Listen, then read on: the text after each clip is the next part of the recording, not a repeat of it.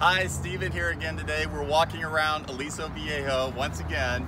Uh, we're at the corner of Aliso Viejo Parkway and Grand Avenue. It's a busy intersection. You can hear the traffic.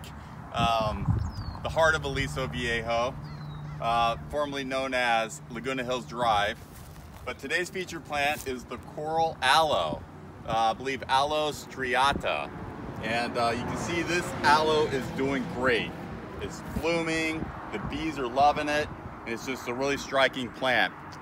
This would be a good plant for your backyard or your front yard. However, you always want to make sure these plants don't get too much water.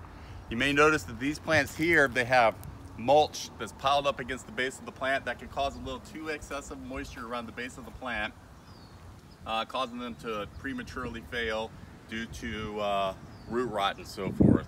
Um, this is a beautiful plant. If you're gonna have one, make sure it doesn't get too much water.